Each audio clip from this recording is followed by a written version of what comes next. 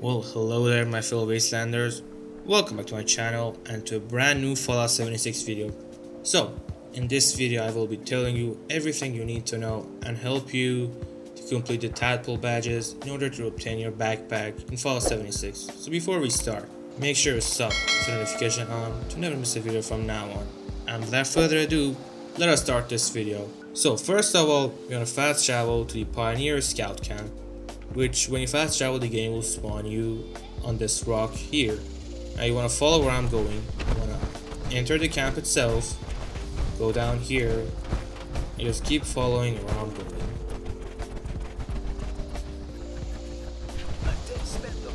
And this is the scout leader Jaggy, which will give you the quest. And this shack over here, on this terminal, this one, and this one, you could do the exams. Which for the exams, you could just Google them on how to do the exams and the answers, and that way you could find the answers. There'll also be a link in the description for that. So now, let's check the challenges. So, I'm gonna give you a briefing on every one of these challenges, but I'm gonna complete three of them and teach you how you could exactly do those. In my opinion, those three are easier than the other ones, but I'm still gonna give you a little briefing on each and every one of them. So first one, for the Archer Tadpole Badge. Now, I don't recommend doing this if you're not using a bow or a crossbow as your main gun. This will be extremely hard to complete. You need to be at least level 40 in order to complete these badges and killing level 40 or 45 or 50 or above that with a crossbow it's gonna be extremely hard. But one tip that I could give you is that you should go for easier enemies like Scorch and also the trader up in Crater, the Rados trader. She has a lot of crossbow slash bow related plans, so you could also check her inventory as well. Next, for the athlete, I'm gonna teach you how you could do the athlete step by step, so let's skip it. Same with Codebreaker. Now, don't go for this. You see, I'm level 124, and I still haven't done any of these. Most of these are extremely rare recipes, which have really hard ingredients and just it's a headache. Unless you're trying to complete all of these, don't go for this. One tip that I could give you is if you don't have a recipe, don't just go look around for it. Search it in Google in the Fallout wiki and see how you could actually obtain it that will be much easier than uh, like going around completing events and challenges and hoping to get one. Next for the entomologist. So first you need to complete the Path to Enlightenment event, which this is an easy event. It's like level 15 or something. It's easy. I'm pretty sure most of you have already done it. Mothman wing, kill a Mothman. Mothmans are, they don't have a guaranteed spawn. You just have to roam around Appalachia, especially at nights, and hope to find one. They actually have no spawns, none. So that's your best bet. Bloodfly. Bloodflies are common enemies, but they're like mole rats. Like they spawn everywhere. So you probably shouldn't have any problem finding one. Same with Bloodbug. Now for these one, one tip that I could give you is that do the tea time event. In the tea time event, a lot of enemies like the rad ants, the stingwing, bloodbug, bloatflies, rad toads, and creatures like this will actually spawn and attack you. So you can take picture of most of those creatures like that instead of just going to every spawn and trying to kill them and take pictures of them that way. For the cave cricket you could hit the Tanagra town for asset. Cave crickets also have a guaranteed spawn there. You could hit that place. Firefly do the Path to Enlightenment event. A lot of fireflies spawn in that event, which you could kill one of them and take picture of them. Honeybeast. Honeybeasts are like Mothman. Again, one tip that I could give you is roam around the south part of Savage Divide. They have a slim chance of spawning like randomly around there. Rad Ant, again, do the Sweet Tea event. Rad Roach, I don't think I really need to talk about this one. Same with Rad Scorpion. And Stingwing, again, do the Tea Time event. Ticks also spawn in the Tea Time event, so you could also do that. Next, for the Herpetologist. This is a bit hard. I don't really recommend doing it, but if you want to do it, I'll tell you whatever I know about it. So, these two just finish the exam at the terminal, and this one capture a frog and build this in your camp. Easy. Anglers have a slim chance of spawning randomly in this region. Deathclaw, you should try Deathclaw Island for this. They're not that hard to come by. Frog, you need to capture him, like, take a picture of a frog. We'll just kill one and take a picture of it. You can find it in the forest area, I think. For the Gulper, look around the Charleston Capitol building area. They usually have a high chance of like spawning around there, I would say. For the Mirelurks, try the Quarry X3. There's a guaranteed Mirelurk Queen spawn and Mirelurk spawn there. So if you hit it like 5 or 6 times, you're probably gonna get all the different variants of Mirelurks to spawn there. Again, Mirelurk Hunter, Mirelurk King, Queen, and Rad Toad again, tea time event. Hunter, you need to kill Rad Stag with different weapons. Rad Stag is a common creature that spawns almost everywhere, especially in the in the forest area, which you just need to kill with different weapons. Yao Guais are also common. I don't think I really need to tell you where to find them. But if you're having difficulty, try Savage Divide. They usually spawn in like the north side of Savage Divide. Again, guys White Wolf. Wolves spawn in the forest area. Most of these like smaller, weaker animals, they spawn the forest area. And this is just easy. Mammalogists. Now you need to take a picture of Brahmin, cat, fox. So all of these spawn randomly in the forest area. They don't have any guaranteed spawn. Just have to look around for them in the forest area. Not much more to tell. Now medic. I was originally gonna tell you how to do this, but one of the challenges is extremely hard to complete, so I'm not gonna focus on this one. But for this one, you need to craft antibiotics, disease cures, which if you don't already have their plants, you could buy them from the White Spring Bunker in the medical wing. He usually sells these plans and stuff so be sure to check them out if you need any of these. Now a pack diffuser. This is extremely hard. You see you cannot buy this from any vendor in the game. The only way that you could actually obtain this is by finishing the project paradise event which is an extremely hard event it's really hard really really really hard i tried it solo many times and I failed all of them. It's really hard. And when you finish it, there's a 12.5% chance that you could get the Stimpak Diffuser plan. So in my opinion, it is not worth it. Your best bet would be to just look around the server for the player camps. Maybe they're selling them. Now I have been buying these in the last month and I have about 100 of them in my stash. So if you need any of these, just join my Discord server and tell me there and I'll come and give you three. And the swimmer badge. I'm actually to show you how you could do the swimmer badge. So first let's talk about the athlete badge. So you need to finish the athlete exam in the terminal you need to have a strength and an agility more than 5. Now with the newest update it's actually fairly easy. Just make a new loadout, increase your agility and strength more than 5 if they're not already more than 5 and finish it and you could do this. Now let me show you how you could do the rest of these. And now the first thing that you want to do for the athlete badge is you want to fast travel to Camp Venture. It's over here on the map. This is Tanagra town. Camp Venture. I'm gonna fast travel to it. And very fast travel, the game will spawn you around here. So you wanna start making your way inside the camp itself.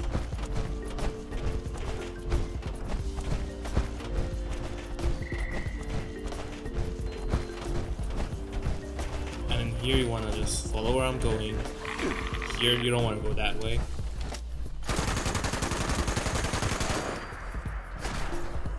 And as you come here, as you could see, there's a sign.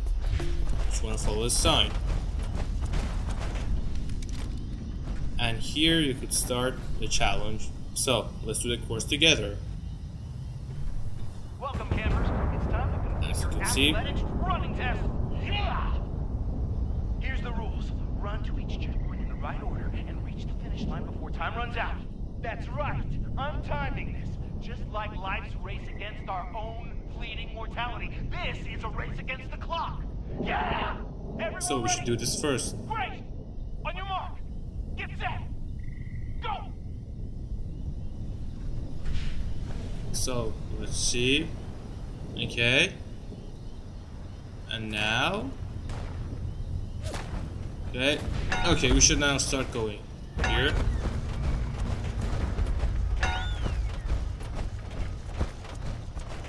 You just keep on going. fuck me. It's a little bit more difficult than it looks like.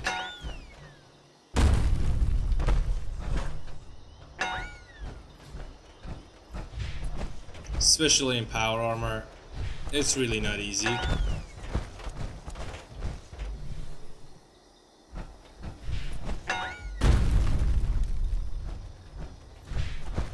Um, right here.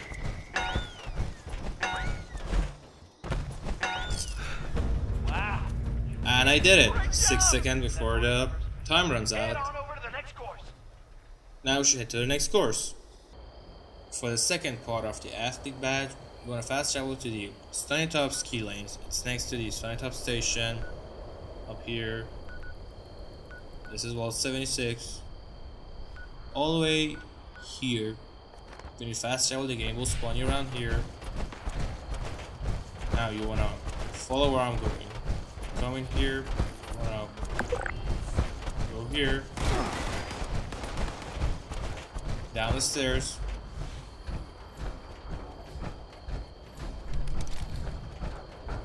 And this is the course. Now remember, there are a lot of traps and stuff on the road on this way. So it's, it's difficult to finish. Definitely have some stimpaks on you. So let's do the course. Let's activate.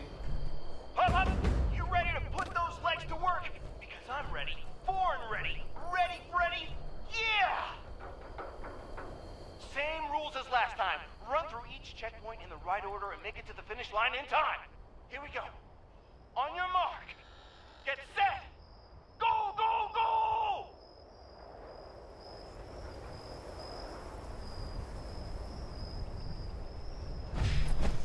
Okay, let's go. Um, wait. Where's the next one? Right, it's here. So keep on going. Remember, there are traps. Don't step on them. Have some step on you. So the next one, down there. It's a fairly straight line. And it's... It doesn't take long to finish. It's just the traps that you want to be careful about. As you can see, traps. There are two traps here.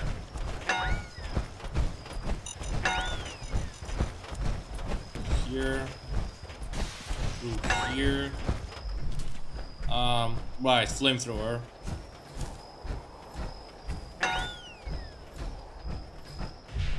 So next one through here. There is a trap there, so jump. Up. Through here, and this is the finish line. And we finished it. On to the next batch. So, for the last race, you want to fast travel to the New River Gorge Bridge East. This is Vault 76. This is the New River Gorge Bridge East. So when you fast travel the game, will spawn you somewhere around here. You want to make your way towards here. And this is the start of the race. So, you want to activate it. This is it. Your final race. Hopefully it's not your final, final race, but who knows? Death comes for us all eventually. Where was I? Ah! Right. The rules. Same In the right order. Get to the finish line. In time. You got this. I believe in you. On your mark. Get set. Go!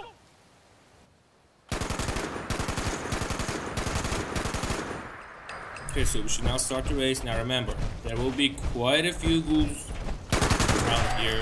So, you know, this is actually harder than the last two races. Just want to follow where I'm going. Or come down here. Now you want to be careful here not to fall down. Jump here. And now we should keep on going.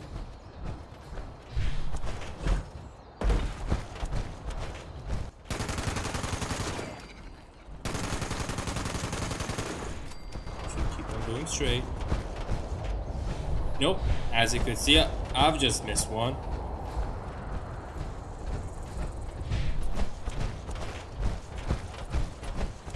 Yep, don't be like me, guys. Here, I've missed this one. And let's keep on going.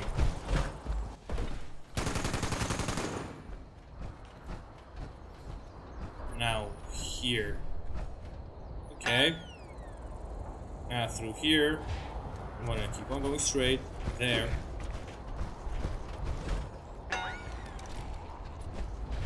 This one. There's a little bit of radiation here.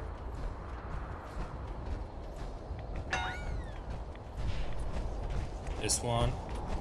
Be careful not to fall down.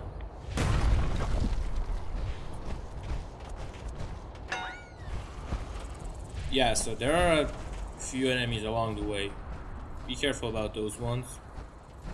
Now, this one, that was really close. Be careful not to fall. I almost fell. Here, now looks like I have to kill these. Now, here it gets a little bit tricky. This is a bit hard. You want to go here. And from here we should... This, just be careful not to fall because... And I didn't fall. Okay. And yeah, the last one's here. This is a checkpoint. Yep. And that was the athlete badge. Now let's talk about the swimmer tackle badge. So you need to do the swimmer exam, obviously. And let me show you how you can do the rest of these. So, for doing the swimmer challenge, first of all, fast travel to the Wavy Willard's water park. The game will spawn you around here somewhere. Next, you want to make your way inside the park itself. Follow where I'm going.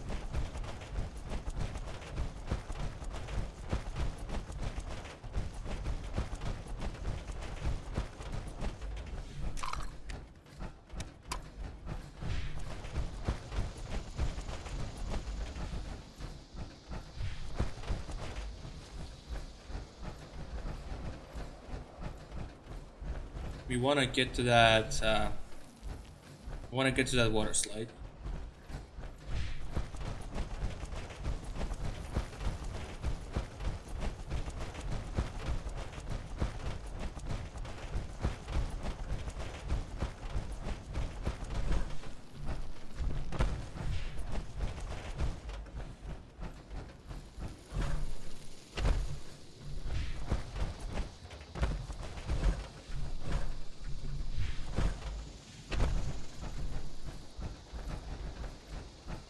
Next, when you're here, you wanna put your camera on it.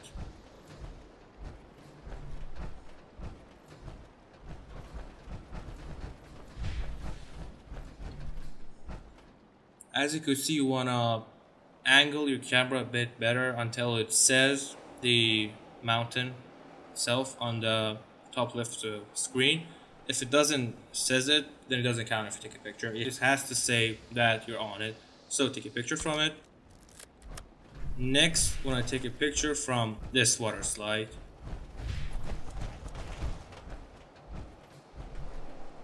Yup, as you can see, it says slide. So take a picture from this. After this, you wanna go down here.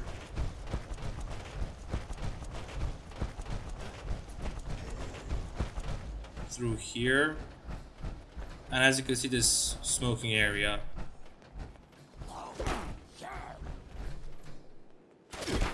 It says wavy, wavy waves. You want to take a picture from here. Wavy waves. As you can see now, swimmer challenge, we've did all three. Now let's move to the next part. For the next part of the swimmer challenge, you want to fast travel to the Spruce Knob Lake. Now the game will spawn you somewhere around here. You want to make your way towards east, a little bit lower than the Spruce Knob campground. Start running there. As you can see, you want to go to that little house over there.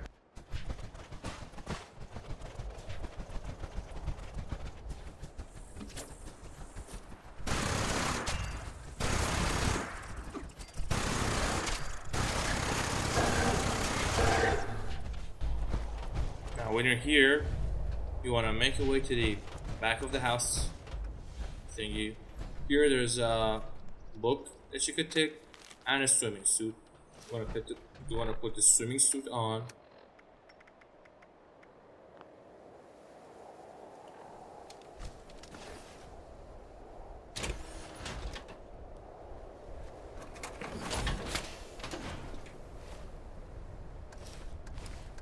Here, wanna wear this swimsuit.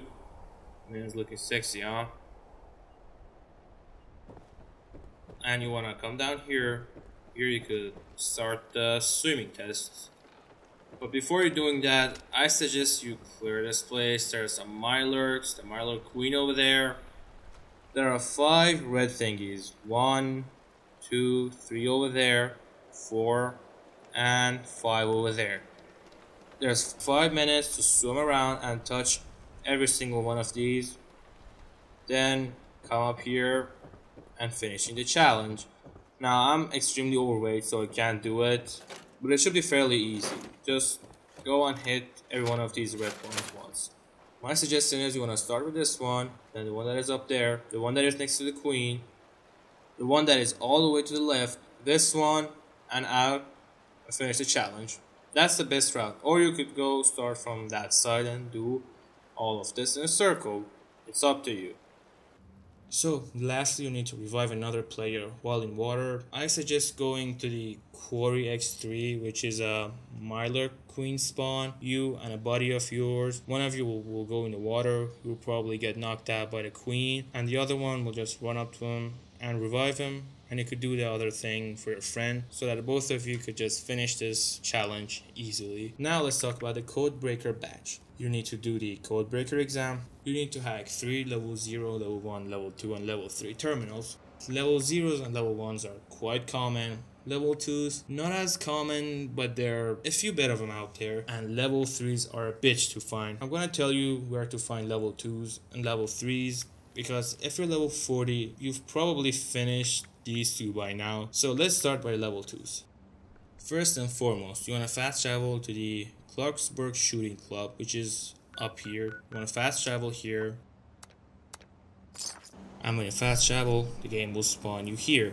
So what you need to do is you want to face this way towards like the houses and shit. You want to run towards them. Until you see this like wooden wall thingy. Next, you wanna come into this shop. As you can see, it says gun shop. It has a like a steel door like this. Wanna open it, and in here, this is a level two terminal that you need to hack.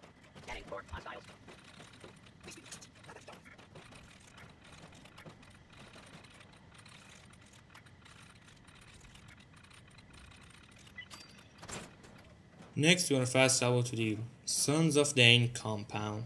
It's here. This is the Cinetop station, the Fort Atlas.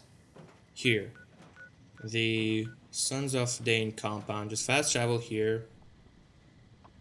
And when you fast travel, the game will spawn you here. Now, where you need to go is you want to enter, you want to continue this road.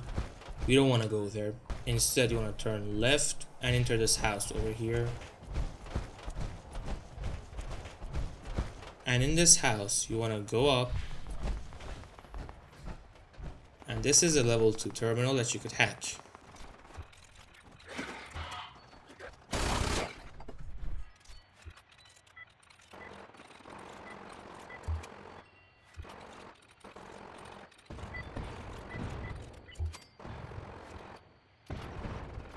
And as you can see, I've hacked the terminal. Now onto the last one. Now for the last one, you want to fast travel to the Appalachian Antiques. You want to fast travel here. And when you fast travel, the game will spawn you here. So you want to make your way towards the main house itself. And when you enter the compound itself, you want to follow where I'm going.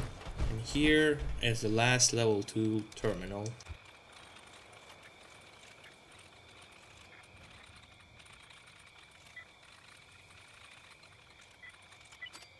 I have hacked the last level 2 terminals. Now for the level 3 terminals, they're extremely rare to find. So one tip that I could give you is if you don't want to look for them, you could ask one of your friends to lock their personal terminal to a level 3 lock and you could just unlock their terminals and this is an easy way of cheesing it. However, if you want to do it the intended way, I recommend the sites, site Alpha, Bravo, and Charlie.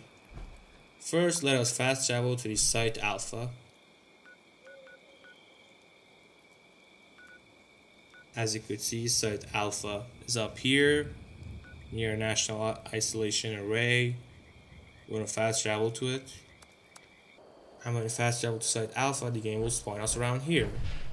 Well, we want to enter the site itself.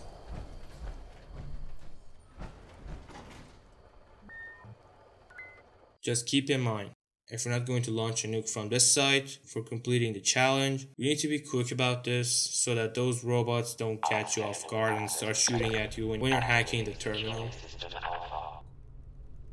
So obviously open the door. Now you want to quickly make your way to this terminal, the, the foyer terminal. These terminals are all level 3s. In the sites, which because I think I unlocked it one, it's still unlocked. But for you, it shouldn't be unlocked. I, un I unlocked this a few minutes ago. But you want to fast travel to every freight terminal and unlock it at every site. And these are the easier one. There are a few more level 3 terminals, but those are extremely hard to get to. These are easier, so I recommend doing these. So guys, that'll be it for this video. If you enjoyed, please don't forget to leave a like and subscribe. And if you have any questions, ask me in the comment section or join my Discord server. We could talk there, ask me any questions you have, or whatever. I'll be there. And I will catch you on our next video.